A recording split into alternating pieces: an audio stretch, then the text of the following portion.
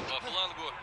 Немного притормозил и правильно сделал. Там не было развития в атаке. толпа с назад, и мяч переходит в центр. Защита на месте.